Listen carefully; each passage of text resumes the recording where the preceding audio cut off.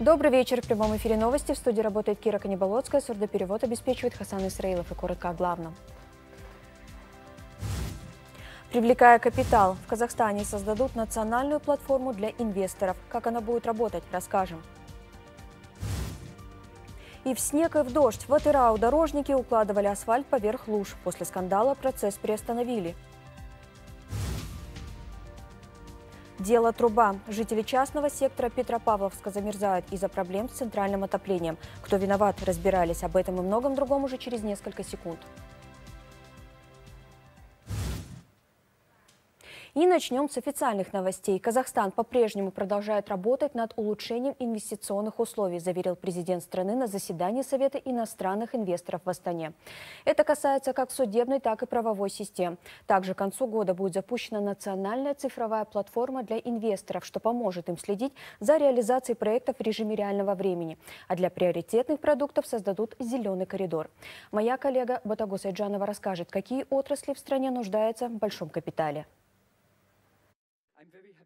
Иностранные инвестиции приносят капитал, технологии, опыт и связи, что помогает модернизировать инфраструктуру, создавать новые рабочие места и развивать различные секторы экономики. Совет иностранных инвесторов при президенте – это консультативный орган, куда входят крупнейшие бизнесмены мира. И наша страна на протяжении нескольких лет работает над созданием максимально комфортных условий для притока больших денег в казахстанскую экономику. Казахстан уделяет особое внимание повышению инвестиционных инвестиционной привлекательности. Только в 2023 году в нашу экономику был зафиксирован валовый приток прямых иностранных инвестиций в размере более 23 миллиардов долларов. По данным Международного института менеджмента и развития, в этом году Казахстан вошел в число 35 самых конкурентоспособных стран мира. Moody's также присвоил стране самый высокий рейтинг за всю историю, но мы не должны этим довольствоваться и упорно работать над дальнейшим привлечением инвестиций. Говоря о привлекательности казахстанской экономики, президент акцентировал внимание на сфере геологоразведки. За последние шесть лет в эту эту отрасль пришли частные инвестиции в размере более 1 миллиарда долларов США. Благодаря инвестициям увеличилась добыча нефти в три раза. Казахстан вошел в пятерку стран с высокими темпами роста черного золота. Новая цель – преодолеть порог в 100 миллионов тонн в год, подчеркнул глава государства. В следующем году исполняется 30 лет с начала работы «Лукойла» в Казахстане. «Лукойл» остается одним из крупнейших иностранных инвесторов в экономику республики с вложениями свыше 11 миллиардов долларов. Накопленный объем добычи в доле компании на текущее время более 90 миллионов тонн нефти и 56 миллиардов кубометров газа. Между тем, Касым Жумартукаев напомнил, что инвестиционное управление в правительстве наделено полномочиями решать возникающие проблемы, следуя принципу «здесь и сейчас». Благоприятную экосистему для инвесторов отметила и глава Европейского банка реконструкции и развития. Предлагает налоговые преимущества, сокращает барьеры и пересматривает законодательство. Национальная инвестиционная платформа была создана для того, чтобы помогать инвесторам в каждодневной работе. Мы видим результаты данных шагов. Доля экономик, которая не связана с нефтью, уже повысилась с трех четвертей до 84%. За годы независимости в Казахстан привлечено свыше 400 миллиардов долларов. Теперь у правительства Казахстана стоит новая задача – еще 150 миллиардов долларов до 2029 года. При этом, по данным Министерства национальной экономики, рост инвестиций идет в несырьевые отрасли. Это здравоохранение, образование и связь. К примеру, на полях сегодняшнего заседания стало известно о том, что Европейский банк реконструкции и развития подпишет договор государственно-частного партнерства о строительстве больницы в городе Кукшетау на 630 койкомест. Здравоохранение очень важная отрасль. Здесь много мы сейчас работаем над тем, чтобы у нас было именно собственное производство лекарств, медикаментов. Мы не зависели ни от какой другой страны. И э, это первое. Второе, это, конечно, э, будут вкладывать в развитие науки, лаборатории, исследования привлечение новых технологий, а также развитие человеческого капитала и подготовку кадров. Основные важные вопросы, которые поднимают инвесторы, которые важны для них. Первое – это верховенство закона, а, а, налоговый режим а, понятный, преференции, конечно, когда вкладываются большие средства, то должны быть понятные условия для инвесторов, обозначенные правильные правила игры. Помимо сферы энергетики необходимы большие деньги и для производства товаров и услуг с высокой добавленной стоимостью.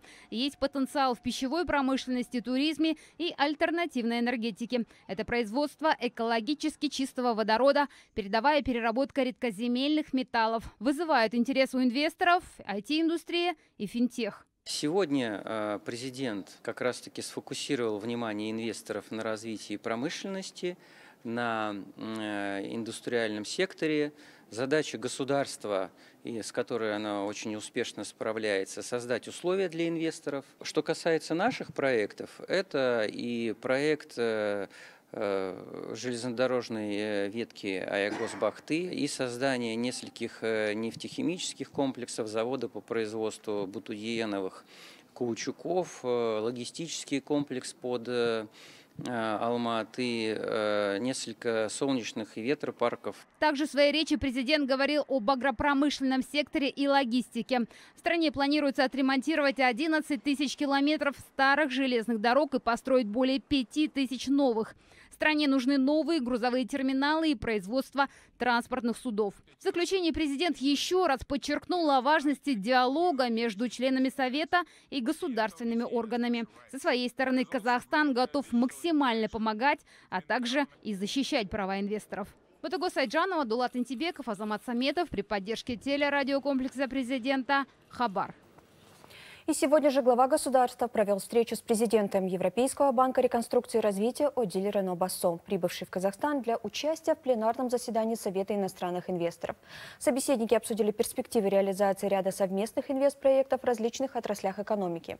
Касым Жумар Токаев высоко оценил стратегический характер сотрудничества ЕБР а также вклад Международного фининститута в прогресс экономики Казахстана. В свою очередь, Адиль Рено Басо сообщила, что банк внимательно изучает инвестиционные проекты Казахстана и заявила о заинтересованности в дальнейшей поддержке инфраструктурного развития. ЕБРР намерен в ближайшие годы вложить 2 миллиарда евро в экономику Казахстана в рамках осуществления зеленого, перехода зеленого в этом году Европейский банк реконструкции и развития для реализации 22 проектов инвестирует в нашу страну 650 миллионов долларов. А на встрече с президентом Microsoft в Центральной Европе и Центральной Азии глава государства обсудил перспективы сотрудничества Казахстана и компаний по развитию IT-индустрии и созданию полноценной экосистемы для стартаперов. Мишель Симмонс проинформировала Касым Жумарта Токаева о том, что казахстанский офис Microsoft был трансформирован в мультирегиональный хаб, деятельность которого охватывает Центральную Азию, Азербайджан, Армению, Грузию, Монголию и Пакистан. Глава государства сообщил, что Казахстан активно работает над законодательством в области искусственного интеллекта интеллекта с целью использования его потенциала для развития инноваций и экономического роста. В следующем году планируется создание Национального центра искусственного интеллекта, который станет основой инфраструктуры для цифровой трансформации страны. О результатах деятельности одной из крупнейших компаний по разведке, добыче и переработке драгоценных и цветных металлов в Казахстане, а также о планах на предстоящий период проинформировал Касым Жумарта Тукаева, главный исполнительный директор Соликор Resources PLC. Виталий Несси сообщил, что предприятие начало реализацию проекта по строительству нового гидрометаллургического комплекса ЕРТС ГМК в Павлодаре. Проектная мощность будущего завода составит 300 тысяч тонн концентрата в год. Предполагается выпуск сплава Доры, частота до 98% золота. Виталий Несис также рассказал о планах по строительству геологической лаборатории в Караганде. Глава государства, в свою очередь, отметил актуальность принимаемых компанией мер по подготовке инженерных кадров для отечественной промышленности страны. Вопросы расширения присутствия ведущей фармацевтической компании в Казахстане и Центральной Азии Польфарма обсудил глава государства с представителем наблюдательного совета Ежи Староком. Глава государства был проинформирован о завершении строительства лаборатории контроля качества и научно-исследовательского испытательного центра компании, а также о планах по запуску производства новых лекарственных препаратов в ближайшем будущем. Касым Жумар Токаев отметил важность развития научно-исследовательского потенциала Казахстана, фармацевтической индустрии и внедрения внедрения обучающих программ. Он поблагодарил польского инвестора за оперативную помощь в предоставлении необходимых медицинских препаратов в пострадавшие весной от паводков регионы нашей страны. Председатель Мажилиса Ерлан Кушанов принял участие во втором заседании Межпарламентского совета по сотрудничеству между парламентами Казахстана и Кыргызстана. Депутаты обсудили взаимодействие в экономической, инвестиционной, водно-энергетической, транспортной, образовательной и культурно-гуманитарной сферах и подписали положение о Межпарламентском совете по сотрудничеству. В этом году, благодаря совместным мероприятиям, поливочный сезон прошел без потерь, отметил Ерлан Кушанов. И поблагодарил кыргызскую сторону за обеспечение подачи воды через реки Шу и Талас в вегетационный период. Также спикер Мажилиса вручил Турагажу Горку Кенеша Нурланбеку Шакиеву орден Тостек за большой вклад в укрепление и развитие двухсторонних отношений. В ходе визита председатель Мажилиса и депутаты возложили венок к мемориалу памяти погибших в ходе трагических событий 1916 года, а также посетили могилу и дом-музей великого кыргызского писателя Чингиза Айтматова.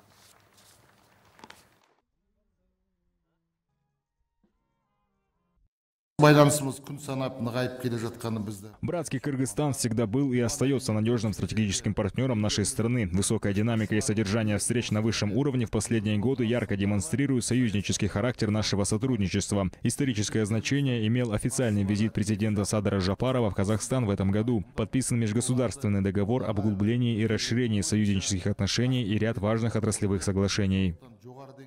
Еще одна страна будет выдавать нам преступников. Депутаты Сената ратифицировали договор между Казахстаном и Вьетнамом о передаче осужденных лиц. Документ позволит казахстанским гражданам в случае их осуждения или лишения свободы во Вьетнаме отбывать наказание в нашей стране. Такую же возможность получат и вьетнамцы. Казахстаном одобрены запросы о выдаче 192 иностранных граждан для дальнейшего отбывания наказания в странах, гражданами которых они являются. 900 казахстанцев все еще отбывают наказание в других странах. Всего же также за последние пять лет в страну для отбытия наказания были возвращены около 160 наших граждан. В общей сложности договора о передаче осужденных лиц заключены с 23 государствами. В прошлом году 55 тысяч наших граждан посетило Вьетнам. В этом году за 9 месяцев их количество выросло до 106 тысяч. Всякое может быть, находясь за рубежом. Если вдруг что-то случится, мы должны им помочь. На подписание, на ратификацию одного такого соглашения уходит как минимум год. За этот текущий период мы экстрадировали 52 человека. В основном это у нас общеуголовные преступления, это мошенничество, кражи, есть особо тяжкие преступления. В основном под экстрадицию попадают у нас те лица, которые находятся в ближнем зарубежье, это страны СНГ, а, но если при этом и дальнем зарубеже. Случаи избиения несовершеннолетних пациентов установлены в Павлодарском психоневрологическом диспансере. Противозаконные действия персонала обнаружила прокуратура при осмотре камер видеонаблюдения. На кадрах видно, как воспитательница перед сном бьет детей по животу, плечам и спине. В центре находится 60 особенных детей, нуждающихся в постоянном уходе. Напомню, подобные случаи там были зарегистрированы 4 года назад. Тогда несколько сотрудников привлекли к ответственности. Учреждение относится к областному управлению координации занятости и социальных программ. Надзорный орган инициировал проверку во всех детских социальных учреждениях. Возбуждено уголовное дело, проводятся следственные мероприятия. А в Шимкенте 12 строительных компаний подозревают в предоставлении недостоверных документов для тендера. По данным Антикора, службы компаний завышали свои показатели, учитывая внушительный опыт работы. Автоматизированная рейтингобальная система на сайте госзакупок не распознала обман. Выяснить это удалось во время мониторинга. Опыт работы проверили у всех строительных организаций мегаполиса. Оказалось, что недобросовестные компании смогли выиграть тендер на общую сумму в 21 миллиард тенге. По документам они строили 80 объектов, что позволило набрать им высокий рейтинг. Доверяя этим данным, система ошибочно засчитала компании как благонадежных исполнителей. Борцы с коррупцией сомневаются, что эти организации вообще проводили заявленные строительные работы. По их данным, уведомления о начале работ отсутствуют, архитектурно-планировочные задания также не были выданы. К тому же компании не выплачивали налоги. Они предоставляли фиктивную документацию об выполненных работах. Сейчас этот вопрос рассматривается центральным аппаратом и уже Министерство финансов как орган разработчик НПА правового акта будут туда внесены соответствующие предложения для изменения ситуации. А в Атырау приостановили дорожное строительство. Причиной стала неблагоприятная погода. Четвертые сутки в регионе идут обильные дожди. Взять тайм-аут дорожникам пришлось после резонансной публикации в соцсетях. На видео строители укладывали горячий асфальт прямо поверх луж. Уполномоченные органы взяли под контроль ход строительных работ и порекомендовали подрядчикам временно прекратить работы. В причинах такой спешки строители разбирались наши корреспонденты. В этом году в Атырау планировали отремонтировать 9,5 километров дорог на 12 улицах города, но дорожники успели уложить только 5 километров асфальта. Ремонт дорог горожане ждали не первый год, но теперь они сами возмутились темпами строительства, а попросту спешкой. В соцсетях распространилось видео, где показан процесс укладки асфальта на улице Сырымудатова. Атыраусцы опасаются, что наспех уложенное дорожное покрытие также быстро разрушится. Этот ролик запустил в своем аккаунте депутат областного маслихата Айбар Ерекешев. На объекте, где асфальт укладывали поверх луж, не было ни технадзора, ни прораба, поэтому мы предупредили рабочих. Полномочий приостановить работы у нас нет, но потребовали соблюдать нормативы, утвержденные законом. На строительство почти пятикилометровой улицы выделили 5 миллиардов тенге. Проект, рассчитанный на два года, предполагает строительство четырехполосной дороги, сливневой канализации и устройства освещения. Из-за весенних паводков дорожное строительство в регионе запоздало на два месяца. Теперь продолжить работу мешают дожди, сетует руководитель проекта Ермек Хамидулин. Мы должны были сдать работу в этом году. Теперь вынуждены стоять. Как только погода прояснится, откачаем воду, высушим дорожное полотно и приступим к укладке асфальта. После возмущения общественности на объект прибыли представители контролирующих органов. По словам представителя отдела автодорог и пассажирского транспорта Куаныша Кабдагалиева, объект в эксплуатацию еще не принимали и говорить о его качестве еще рано.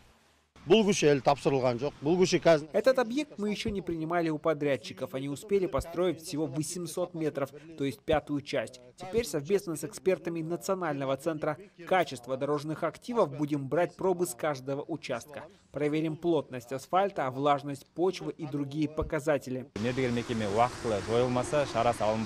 Если подрядная организация не примет необходимых мер, мы инициируем проверку. Если подтвердится факт несоблюдения необходимых норм, будет возбуждено административное дело производства по 312 статье за строительство без сопровождения технического и авторского надзоров.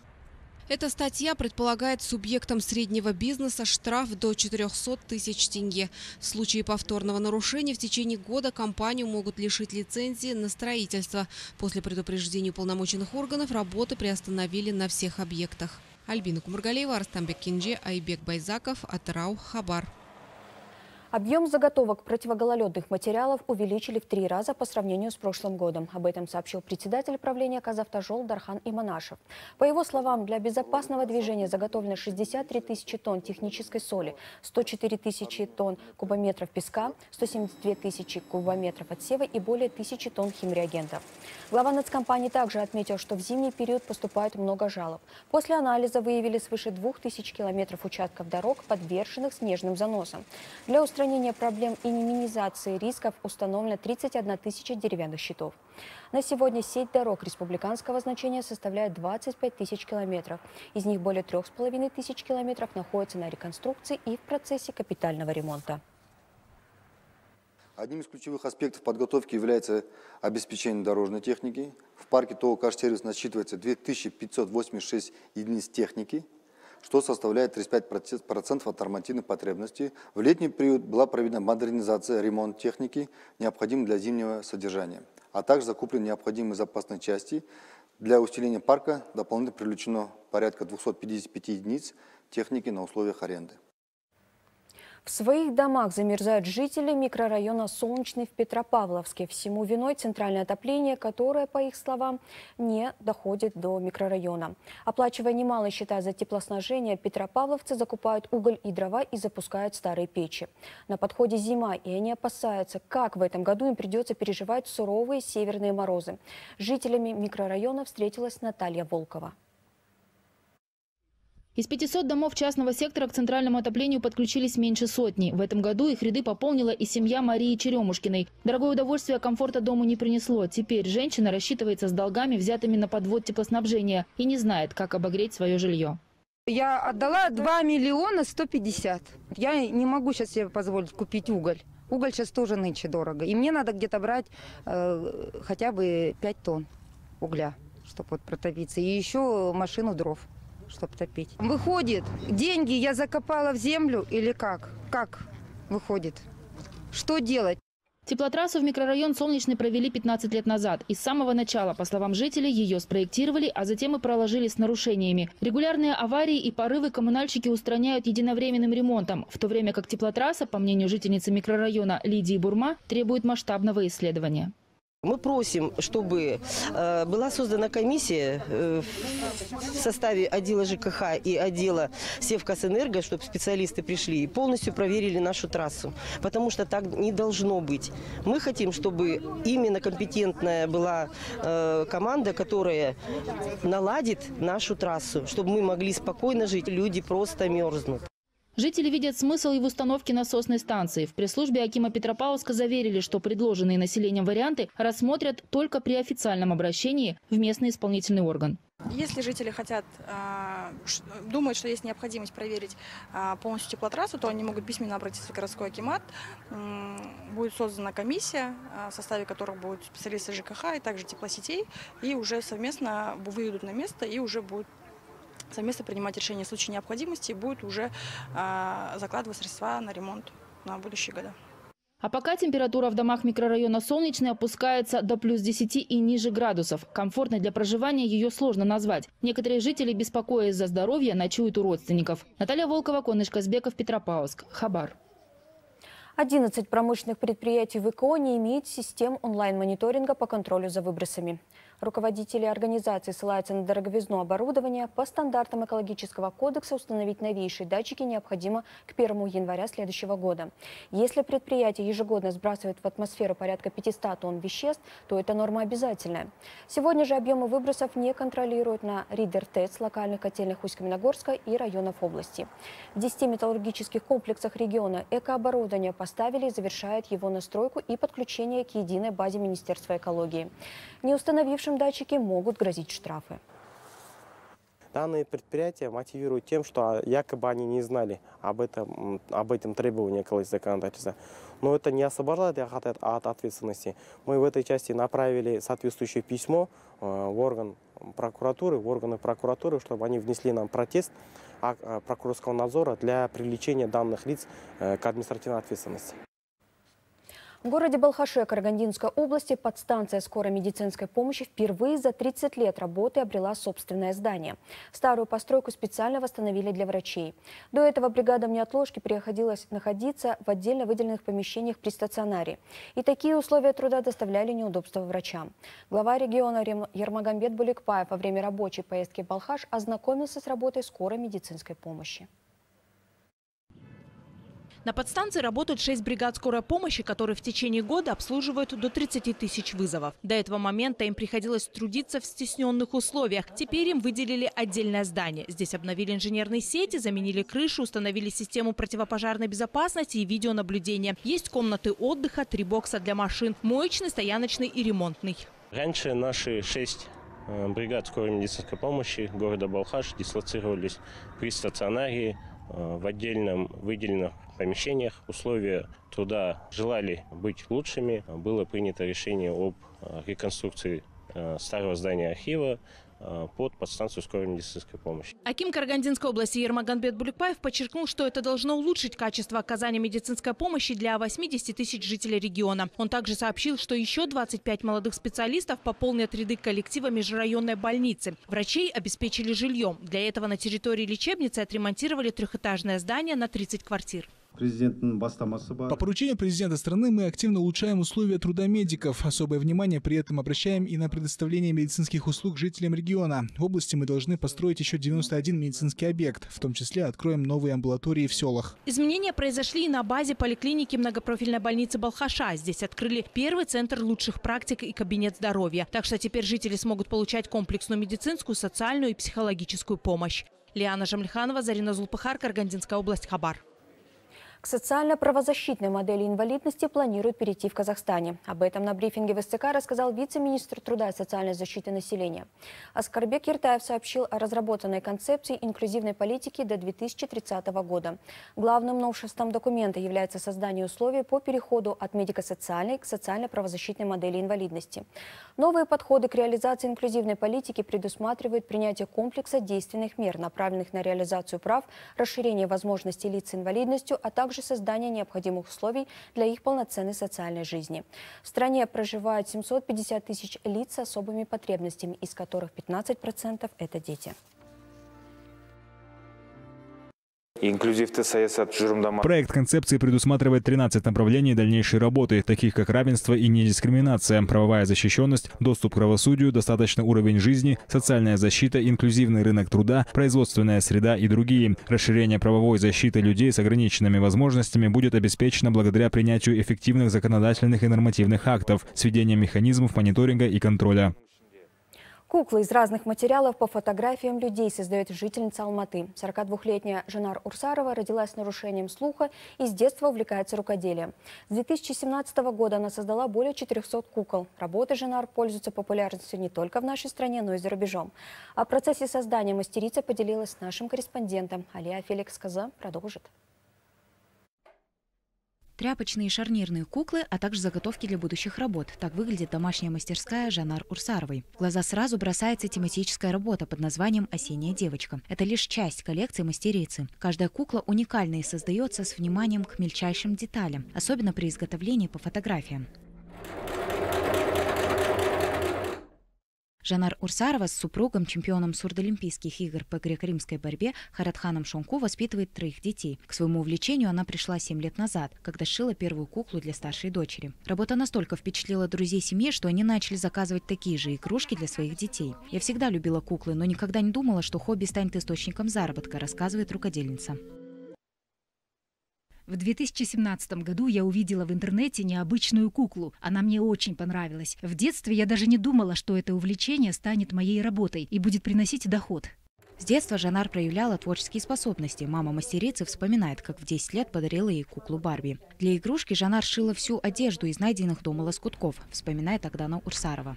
Она полностью себя отдает своему творчеству и от этого получает огромное-огромное удовольствие. Это, говорит, на первом месте семья, на втором моя кукла, ее рукоделие. За годы шитья Жанна Русарова создала порядка 400 кукол. В будущем она хочет открыть свою мастерскую и проводить мастер-классы для всех желающих.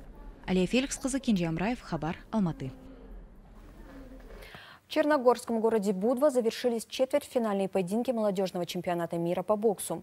По итогам этой стадии сборная Казахстана установила рекорд. Сразу 17 представителей мужской и женской команды вошли в полуфинал и как минимум обеспечили себе бронзовые медали. О других событиях из мира спорта расскажет Зарина Кусанова. Представительница сборной Казахстана по женской борьбе Жамиля Бакбергенова стала серебряным призером чемпионата мира в албанской Тиране, где спортсмены соревновались в неолимпийских весовых категориях. Бакбергенова завоевала путевку в финал весе до 72 килограммов. Казахстанка боролась в решающей схватке против японки Амиси, которая на прошлой неделе выиграла молодежный чемпионат мира в категории до 68 килограммов. Наша спортсменка уступила в первой половине поединка. Во втором периоде она смогла на некоторое время выйти вперед, но в итоге все же потерпела поражение со счетом 6-8. Таким образом, 28-летняя казахстанка стала четырехкратным призером чемпионатов мира. В этой весовой категории она трижды выигрывала серебро и один раз бронзу.